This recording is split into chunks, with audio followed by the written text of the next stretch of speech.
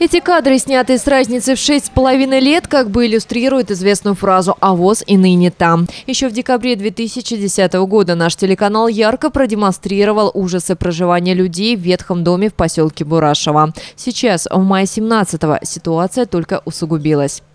Живем, просто существуем. И ложишься спать и думаешь, проснешься ты или нет.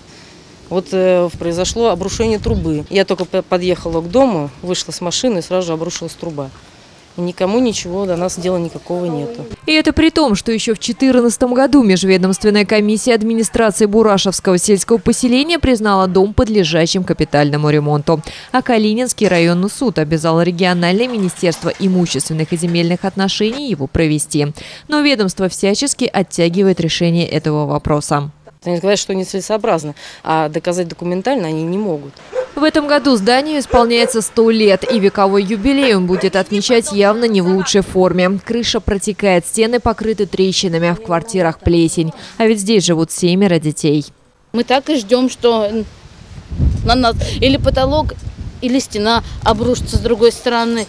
Вот так и живем, а как? Помимо ежедневной угрозы, люди в буквальном смысле чувствуют себя гражданами второго сорта. Кроме электричества, в их доме нет ничего ценного. Отопление печное, вода из колонки, а туалет на улице. Впрочем, капремонт эти проблемы не решит, говорят в местной администрации.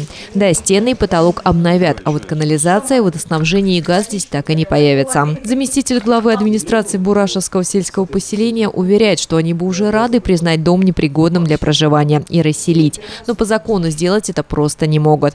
Да и люди не торопятся. Ни одного заявления от жильцов не получено. Программа, в которой мы участвовали, в рамках которой мы расселили 13 аварийных домов, она заканчивается 1 сентября. И что будет после, нам пока не ясно. По закону, после признания дома аварийным, собственники, а проживающие здесь все имеют такой статус, должны либо снести здание, либо провести реконструкцию.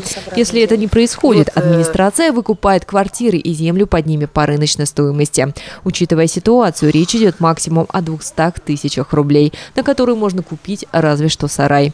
Получается абсурдная ситуация, выход из которой найти крайне сложно. Юлия Личева, Андрей Шибаев, Твериград ТВ.